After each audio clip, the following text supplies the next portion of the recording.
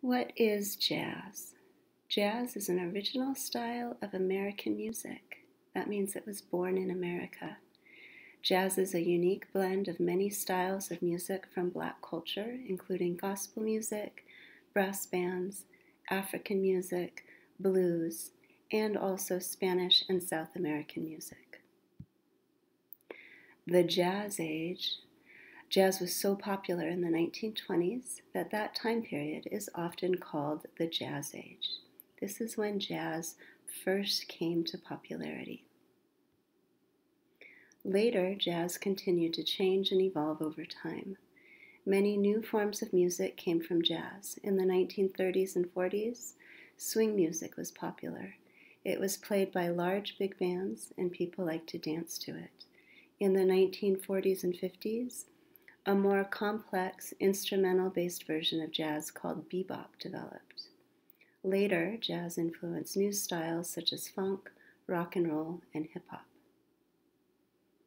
Here are some of my favorite jazz artists. Ella Fitzgerald is a singer, and she is often called the Queen of Jazz. Louis Armstrong is a trumpet player and singer. His nickname is Satchmo. Ella and Louis made many recordings together singing duets. Duke Ellington, he is a composer, a piano player, and a big band leader. He is called the ambassador of jazz. John Coltrane, his nickname was Train. He was a bebop jazz saxophonist. Melba Liston, she played the trombone she was one of the first female jazz musicians. Billie Holiday, also called Lady Day, she was also a jazz and blues singer.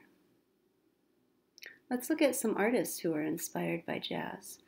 Romare Bearden made many, many collages showing people playing jazz and the culture of jazz music. Henri Matisse was a French um, painter and artist who made these collages based on the rhythms and the sounds of jazz.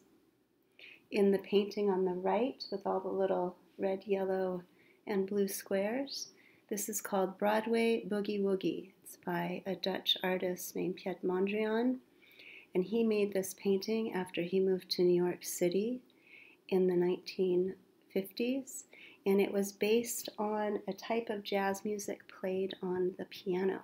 So all of the cars and subways and movement in New York reminded him of that music.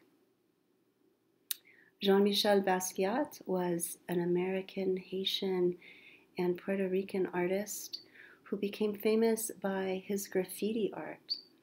He was very inspired by jazz and made paintings of his jazz heroes.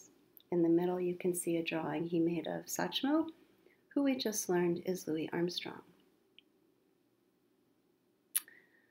So I'd like you to listen to some of the jazz music I post for you. How does it make you feel? Do the sounds make you see color or shapes or another image? Here are some ideas for a jazz inspired art project.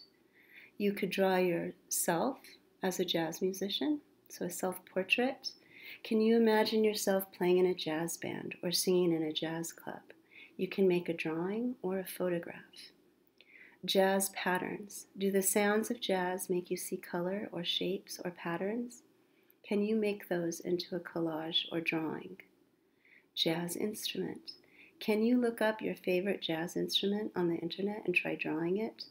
Common jazz instruments include trumpet, saxophone, trombone, double bass, it's often called the stand up bass, drums, and the vibraphone.